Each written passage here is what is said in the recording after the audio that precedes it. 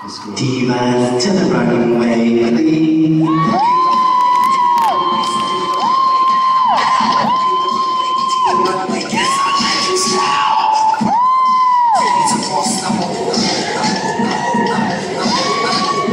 Ladies, I think it's time to switch roles.